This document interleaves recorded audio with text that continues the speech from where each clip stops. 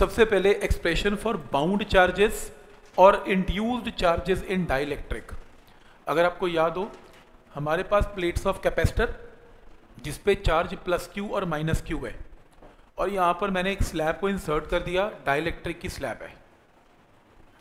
ये डाइलेक्ट्रिक के अंदर पोलराइजेशन होगी। और जब पोलराइजेशन होगी तो यहाँ पर बराबर चार्ज नहीं आएगा, थोड़ा कम चार्ज आएगा। कितना चार्ज आएगा? माइनस क्यू आई और प्लस क्यू आई इसको इंड्यूस्ड चार्जेस या बाउंड चार्जेस भी बोलते हैं। अगर ये कंडक्टर होता तो मुझे पूछने की ज़रूरत नहीं थी, ये चार्ज माइनस क्यू ही होता। पर ये क्योंकि डायलैक्ट्रिक है तो ये चार्ज माइनस क्यू आई है। मुझे इसकी वैल्यू निकालनी है, क्या होगी, ये क्वेश्चन है। सबसे पहले काम करेंगे डाइलेक्ट्रिक के अंदर नेट इलेक्ट्रिक फ़ील्ड का फॉर्मूला क्या होता है, या डाइलेक्ट्रिक कांस्टेंट का फॉर्मूला क्या होता है? Applied electric field upon reduced value या net value of electric field ये हमने किया था। तो यहाँ से reduce value of electric field या नेट इलेक्ट्रिक फ़ील्ड का formula E naught by K हो जाएगा। क्या ये पॉइंट क्लियर है? नेक्स्ट है, यहाँ पे चलते हैं। नेट इलेक्ट्रिक फ़ील्ड कैसे निकाला था हमने? अप्लाइड इलेक्ट्रिक फ़ील्ड में से। पोलराइजेशन की वजह से इलेक्ट्रिक फ़ील्ड को क्या किया था? माइनस कि बाहर इलेक्ट्रिक फ़ील्ड ई नॉट है डाइलेक्ट्रिक का अपना इलेक्ट्रिक फ़ील्ड ईपी है। दोनों को माइनस करके टर्म आई। नेट इलेक्ट्रिक फ़ील्ड की जगह क्या पुट कर सकते हैं? ई नॉट बाई के यहाँ से सॉल्व करके ईपी आ गया ई नॉट कॉमन आ गया।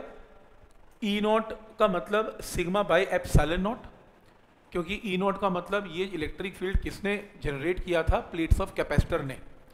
प्लेट्स ऑफ़ कैपेसिटर की सरफेस चार्ज डेंसिटी कितनी है? सिग्मा तो सिग्मा बाई एप्साइलन नॉट लेकिन ईपी का मतलब है डाइलेक्ट्रिक के ऊपर सिग्मा डाइलेक्ट्रिक का इलेक्ट्रिक फ़ील्ड क्या होगा? Sigma P by epsilon naught क्योंकि ये electric field due to polarisation है और ये electric field due to plates of capacitor है। तो डिफरेंस समझ में आ रहा है यहाँ क्या है?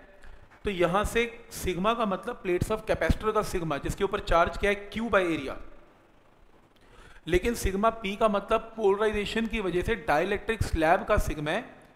डाइलेक्ट्रिक स्लैब का चार्ज क्या है? क्यू आई बाई एरिया बस ये फ़र्क है। ये क्यू आई बाई एरिया ये Q by area area area cancel ये भी कैंसल आंसर तो आप अपनी फॉर्मूला बुकलेट में नोट कर लें ये फॉर्मूला कि डायलैक्ट्रिक के अंदर चार्ज की जो वैल्यू होती है क्यू आई वो Q into one minus one by K K equal होती है।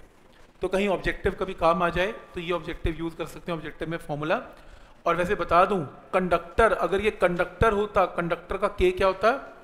Infinity one by infinity is zero तो क्यू आई और Q one and the same thing तो इंड्यूस चार्ज क्यू के इक्वल पैदा हो जाता। तो ये फॉर्मूला नोट कर लें।